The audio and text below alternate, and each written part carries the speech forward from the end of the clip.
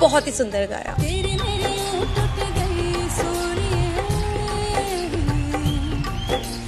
टूट हम खड़े होके उस म्यूज़िक डायरेक्टर को श्रद्धांजलि देंगे जिसने ये कंपोज किया आदेश श्रीवास्तव जी के